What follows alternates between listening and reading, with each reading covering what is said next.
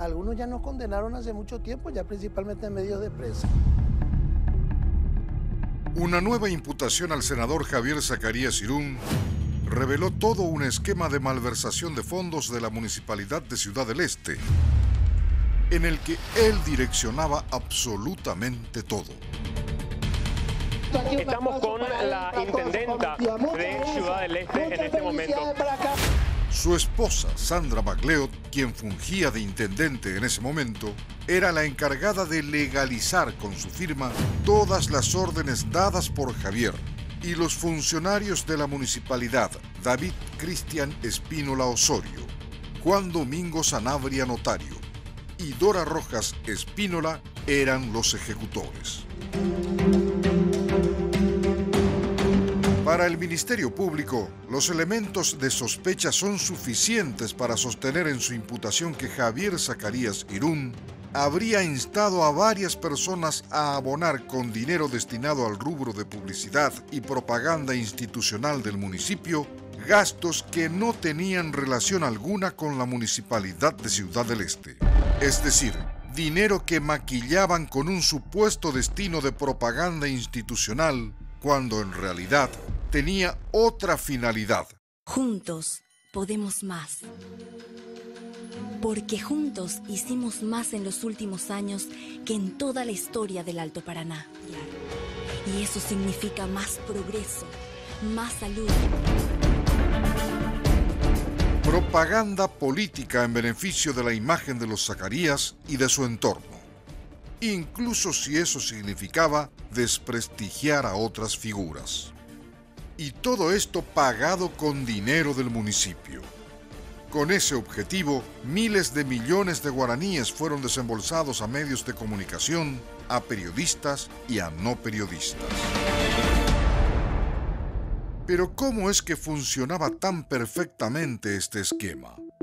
El secreto estaba en maquillarlo de tal forma que no pudiera distinguirse lo ilegal de lo legal la orquesta de los Zacarías subió al escenario. Javier Zacarías Irún, en su carácter de asesor ad honorem, se tomó atribuciones muy superiores al cargo que ocupó dentro de la municipalidad. Él no asesoraba, él dirigía. Señalaba a dónde iba a ir el dinero y lo especificaba. Eran órdenes concretas. Esta versión la reafirmó el propio jefe de prensa de la Municipalidad de Ciudad del Este, Juan Sanabria, que incluso era parte del esquema.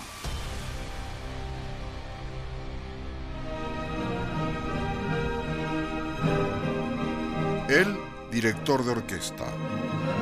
Sandra MacLeod, compositora de la música.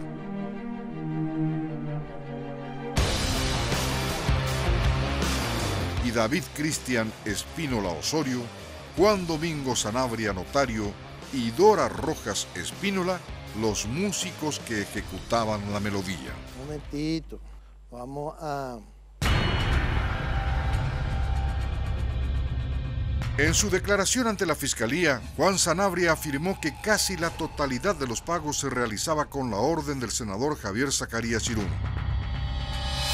Decía, yo le informaba al senador sobre los pagos que estaban pendientes para que él mismo diera la orden, o él mismo me llamaba a dar indicaciones sobre pagos a realizar.